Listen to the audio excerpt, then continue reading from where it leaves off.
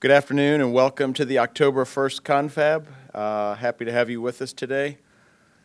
Uh, as of today, we have no new cases with any of our residents or staff members.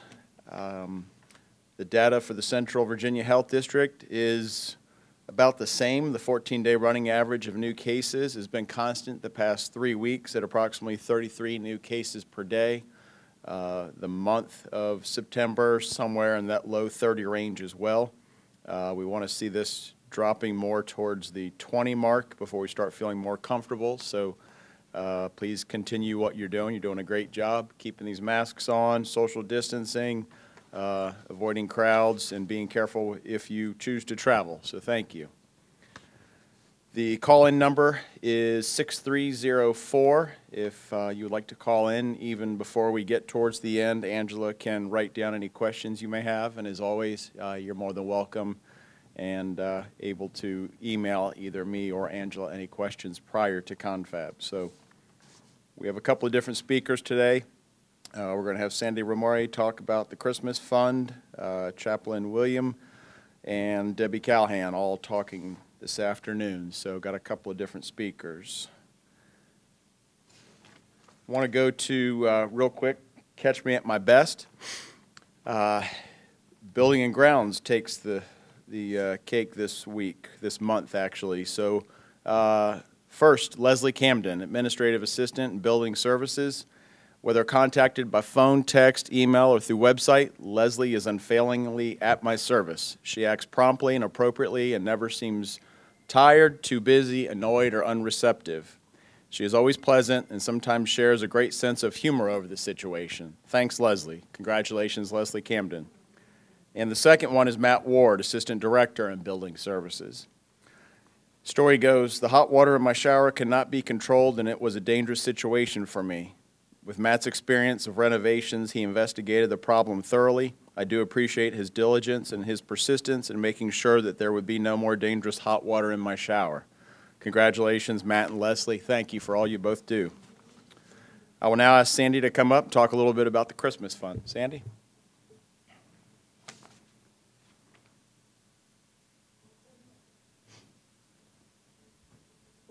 Good afternoon.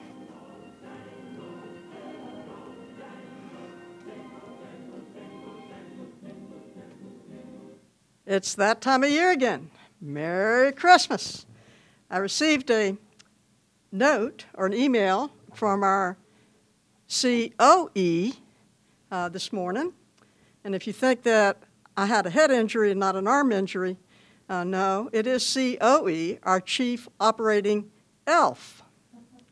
And so she sent me a note that says since September the 1st through the 28th, we have collected $47,277,000.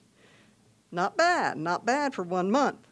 It has come not only from independent living residents, but from assisted living, health care, senior independence, Azalea option, and Canterbury Club members. When we think about the fact that Canterbury Club members only got about, what, two and a half months out of this year so far, we're thankful that some of them are, are contributing at this time. We also have about 80 plus monthly donors.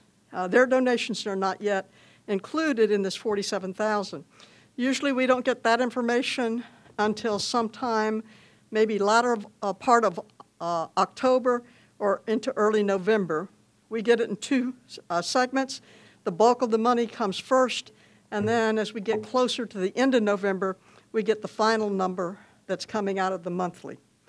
Uh, so we encourage you to keep giving. You know, we have some great people here that have been working with us, and I can certainly attest, uh, after my little accident, a uh, number of people have, have just stepped up and said, what can we do, or just did things that needed to be done. And I am very, very thankful for that. So let me encourage you. Also, make sure you read Margaret Simpson's little blurb in the weekly update. It is very good, real different, but very appropriate. So get a hold of that weekly update for this week and read that. Thank you very much.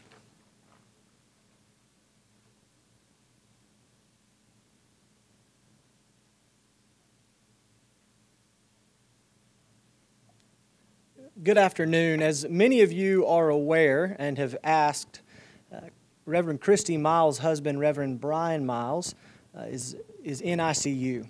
Um, I ask for your prayers continued uh, for them. Uh, but I also asked Christy if I could update you today on Confab since it goes out broadly, but also if I could share her address, uh, and you will see that right now. Uh, you can send cards. She said that those are the best medicine for them right now. Just a, a, a, brief update Brian is in ICU. He is on a lot of oxygen. They've changed his uh, breathing machine to be a, let me see what she said, a high flow oxygen therapy. Um, COVID 19 is rapidly and, and, and viciously attacking his, his body, and we just pray for healing. Pray for Christy. Um, she and Joseph are at home, quarantined, uh, remaining healthy, um, uh, but, but away from Brian. I do want to share something that she uh, wrote on Facebook the other day. She called it Today's Scriptural Multivitamin. For I am convinced that neither death nor life, nor angel, angels, nor rulers, nor things present, nor things to come, nor powers, nor height, nor depth, nor anything else in all creation, even COVID 19, will be able to separate us from the love of God in Christ Jesus our Lord. Romans 8 38 through 39. So we continue to pray for Brian, for Christy, and for Joseph. And if you would like to send a note, I know that they would greatly appreciate it. And you can see their address there A few other uh, updates. Uh, just want to remind you that we are having uh, Sunday worship services for independent living at 9:30 and 11 a.m. You can sign up on the activities board. Sometimes the sheet gets moved around because the space is needed. So just look for. Uh, it's got a big highlighted yellow on the front of it. You can't miss it. Um, we are beginning next week uh, worship services in healthcare, assisted living, and memory support. They will be on Wednesdays. 10:30, uh, raise it up. 10:30 uh, in memory support, 2:30 in healthcare. We will go one floor uh, a week uh, through the month, and then assisted living will gather on the mezzanine in Drinkard at 3:30. Uh, I'm looking forward to being with those residents. Uh, looking forward to singing, to having some Bible study, to just getting to know them as well. we are now in October, and a month from today, uh, well, month from the first, so it is the first. Uh, on Sunday, November 1st, is All Saints' Day. Uh, typically, we have invited folks in to celebrate and remember uh, loved ones who have died, uh, but unfortunately, we're not able to. Um, you'll see in the October newsletter update uh, some instructions there, and it will be sent out to the families. But we will be live streaming on YouTube, and that video will also be there uh, after the live stream for folks to view who cannot attend. Uh, we will be inviting those who uh, are uh, residents here who are remembering a loved one. They will be coming to participate in the service. But that'll be Sunday, November 1st at 4 p.m. in the chapel, and it'll be live streamed on YouTube and also on uh, 970. And we will replay that as well uh, at, a, at another time in, in the day and in the week as well. anyway, thank you. And thanks for your prayers for Christy and for Brian. I know they greatly appreciate it. Good afternoon, everyone. I had to bring, bring some notes with me today. It's been a little while since I've had the opportunity to talk with you all, and uh, I thought I'd give you a lot of updates because there has been a lot going on, quite honestly. Uh, you see the artwork on the screen there. It says, Big hearts deserve big hugs. And for all of you that you've contributed to Westminster Canterbury uh, over the recent months, your continued confidence and support uh, through your charitable giving is very, very uh, appreciated and means so much to all of us. I uh, wanted to just give you some uh, recap on the gifts that have been made to the Westminster Canterbury Lynchburg Foundation uh, for this past fiscal year, which actually ended just yesterday, September 30th. We first accomplished the closure of the Mission 2020 capital campaign, and that concluded with a total fundraising of two million thirty-five three hundred. I can't even say it right. 2.35 million. I'll get it out eventually, uh, which has been put to work helping Westminster pay down the debt on the construction project which created and built the Drinkard Healthcare Center and also accomplished all of the renovations to our dining and wellness spaces. So thank you ever so much for all of that. Uh, we recognize sustaining donors by initiating and inaugurating our Buster Baldwin uh, Society in February. Yes, it was February. We actually had a special event in this very room in February, pre pandemic. Uh, it's hard to believe that it was actually still in this year, but that's the truth. Um, we're going to be having some news about some of the members of that society in our next issue of the Vision newsletter that we'll be sharing in a little bit. This spring, you responded very generously when we asked for your assistance to, to create a pool of money to help our hourly employees who house, whose households experienced a negative impact uh, due to the pandemic. And uh, this continues to be a challenge for some folks. Your October newsletter reports the em- Employee Emergency Assistance Appeal brought in $48,532. Will you continue to give?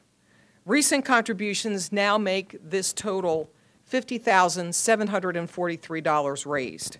What a wonderful testament to your appreciation for all of our staff. Uh, and distributions still continue.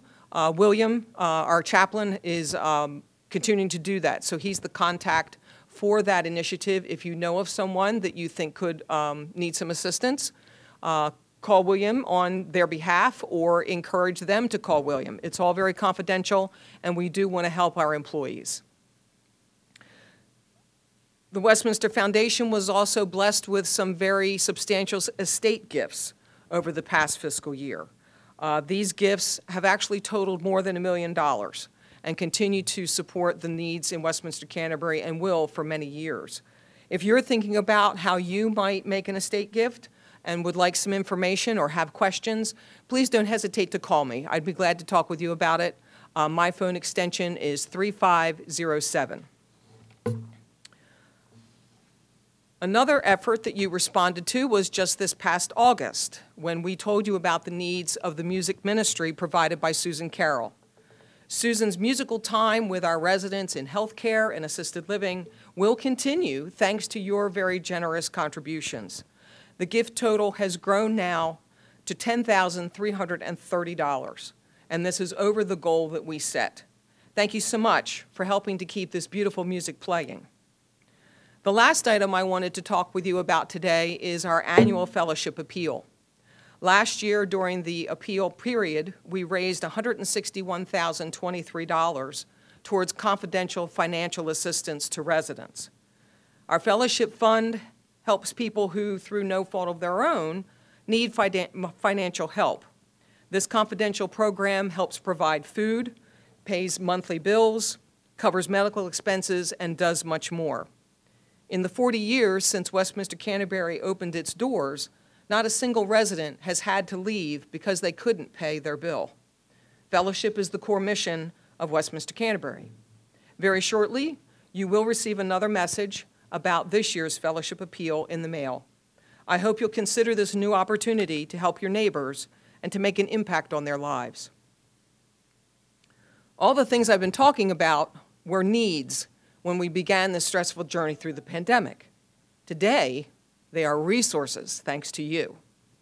Our campus would not be strong and successful if it weren't for donors like you. We deeply appreciate your generosity, especially during this difficult time of the coronavirus pandemic. We are very, very grateful for your support. Thank you so much. Have a great afternoon.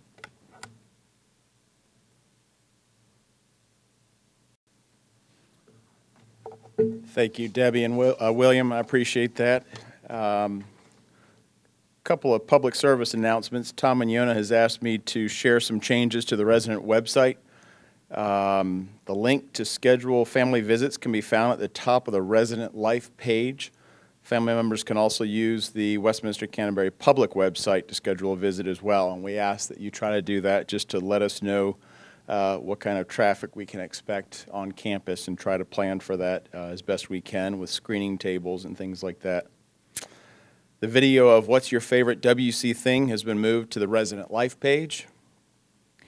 The WC Facebook page has been moved to the Resident Life page as well, and there's also a link to Facebook on the bottom of the welcome page.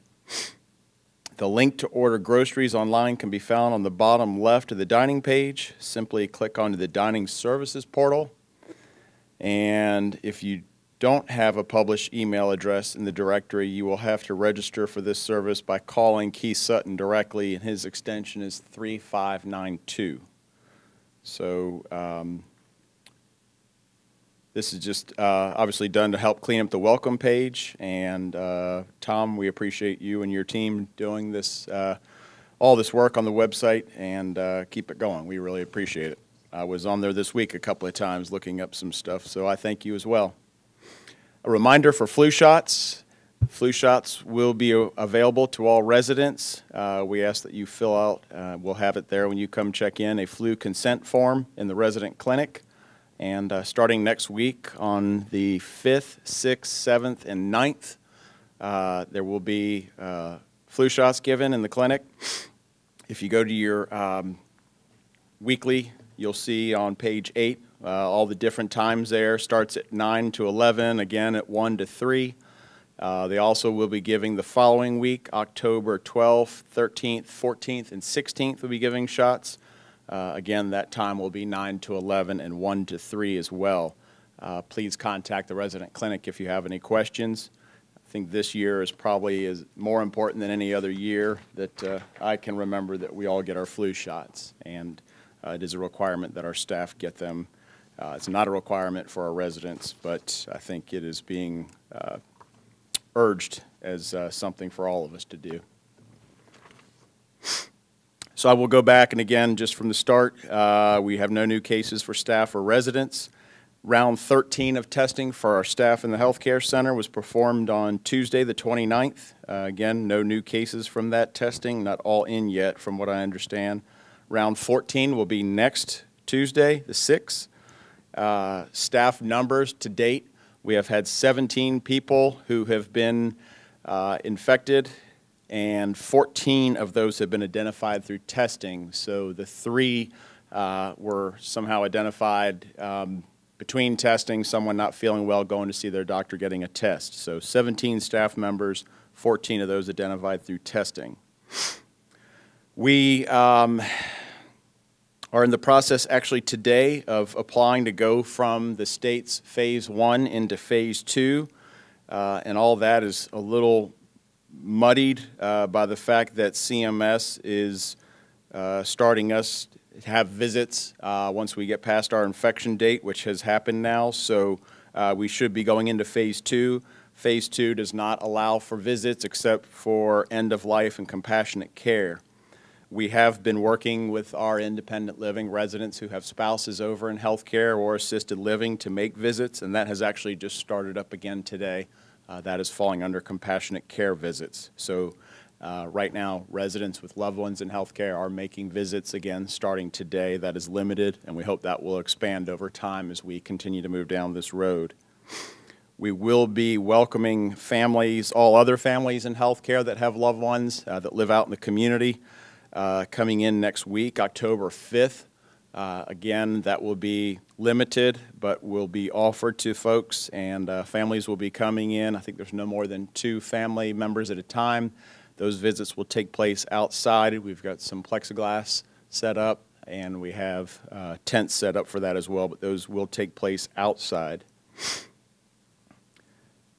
The positivity rate is one of the other numbers we're tracking. On the screen here, we showed uh, the numbers in central Virginia, and uh, the, the city went up from a little over a 1,000 to somewhere, I think, of around almost 1,400.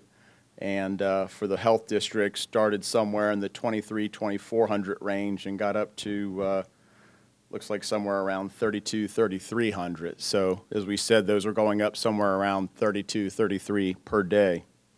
But the positivity rate is the number that is tracked for CMS. That number is, uh, this week posted on the 28th, was 8.2. So that requires us to continue testing one time per week, as long as we sit above that 5, but below the 10% range. Last week or the week before, I talked about our home care business with Senior Independence, which is sitter and companion service, that that would be stopped. Uh, We are working with a couple of clients. Uh, We'll continue those relationships, but have stopped taking new clients. And um, the important thing there is we will keep those going, but uh, we will still do home health, which is a lot of nursing, therapy-type visits, and we will still keep doing hospice. We have no plans to stop that. So home health, hospice continue going. That home care consignor- sitter companion service will be uh, on its way out. And then um, think that completes my report. We'll continue as I end all of these. Uh, Please continue to wear your masks, social distance, and wash your hands. Uh, Interesting, there was a USA Today article about a small school up in the Northeast that has done really well, and uh, I think those kids have to wear their mask about everywhere they go. But uh, a lot of testing, a lot of mask wearing, and uh, seems to have been a very positive situation there. So please keep it up, and uh, have a good day. Thank you.